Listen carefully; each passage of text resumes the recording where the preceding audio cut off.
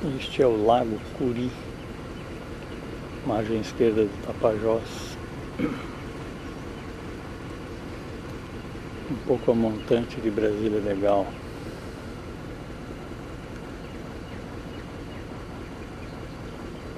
E é a comunidade de Timbó ou Curiboca.